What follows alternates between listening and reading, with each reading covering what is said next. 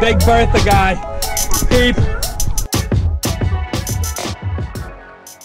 What is going on, my sons? How y'all doing? I hope you guys are staying healthy.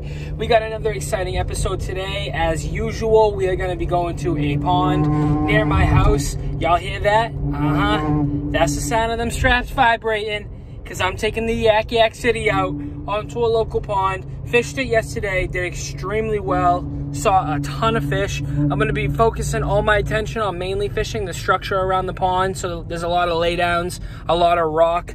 So I'm gonna be fishing that mostly. Hopefully we can get on a couple nice ones. Um, if not, it's no big deal. I'm just out there to catch some fish, show you guys how to fish some structure. Structure is super key when you're bass fishing, so stay tuned. If you're new to the channel, I'm Boston Fishaholic. Do a whole lot of fishing, slay the New England area. If you don't know, you're about to know. So enjoy this video and stick around and hit that subscribe button if you haven't.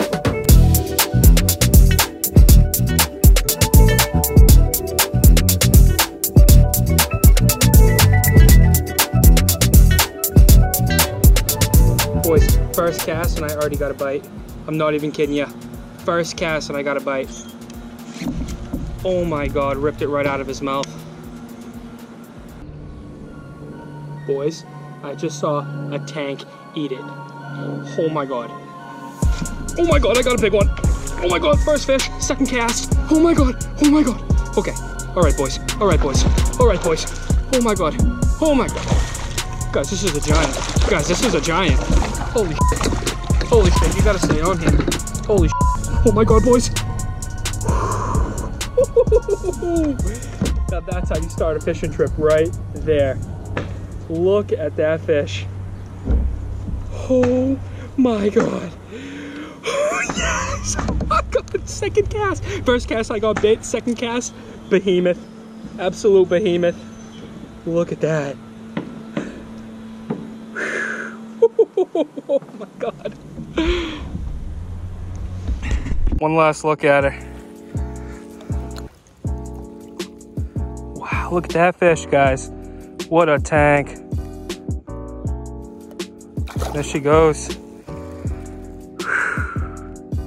That is what I'm talking about, folks. That is how you start off a fishing trip right there. Let's go.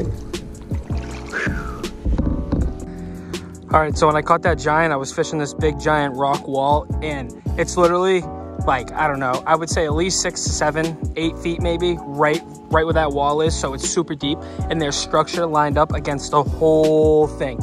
I mean, it, the wall itself is structure, but I mean, there's down trees along the whole entire thing. So I just pitched my Senko right into one of them and I saw that massive fish just come out and just demolish it. So, I mean, there's no better way to start off a trip. I got bit my first cast and then caught a Goliath grouper for my on my second cast. I mean, that's just amazing. And we got hours ahead of us, so stick around because this is probably going to be a good one. Pretty sure I got a fish on. Don't think it's a big one. Oh yeah. Oh.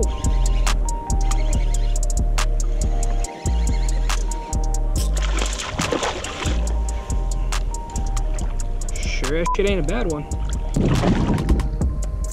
Ah, there we go, boys. Let's go. Let's go. We are on them today. All right, second one. Decided to move off those big ones. And it was literally my first cast at a new spot that I just paddled to, a little chunker. Not too shab, not too shab. These fish fight so hard in here too. It's wicked strange how hard they fight, but yeah, there we go. Second one, not a bad one.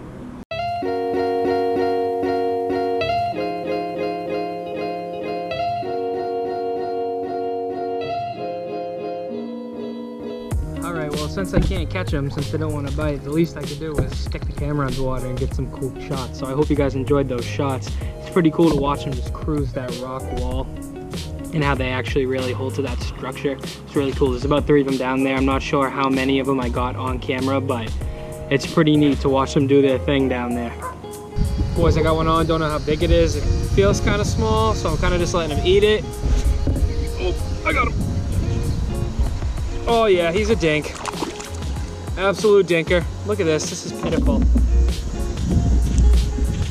Guys can barely hear me probably because someone's using tools in the background, but monster. The fish I caught before this could have ate this fish. All right, real quick, just wanna interrupt the video real quick to go over the setup that I'm using. I am rocking, if you're trying to flex a little bit, definitely this combo is the one. I'm using the Abu Garcia Revo SX. Fire, fire, fire reel. 801 gear ratio, so it's like an all-purpose reel.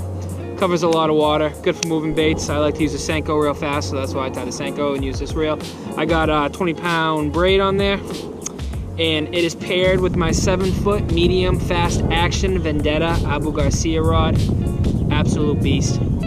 Handle, that grip, super comfortable. And it just all the colors match and go together, so that's why I picked these two to go together. Like I said, if you're trying to flex on them, this is a combo.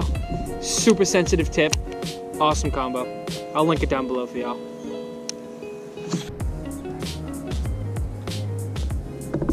Boys, we got a fish. We got a fish on. Hopefully I don't blow it. I've blown like three or four.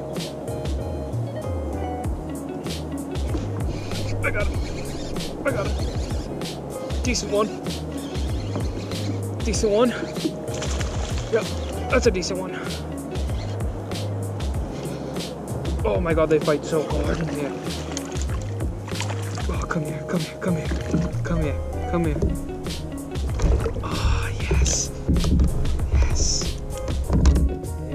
A little chunker, boys. Here we go, peep this little chunker. There we go. Been grinding hard for this fish, I'll tell you that for free. Look at that dorsal fin though. One last look at that fish. Senko in the mouth. Venom Lures. Got this fish right off that down tree over there. I'll give you guys a better look at it, but yep, not bad. Little chunker. Been eaten.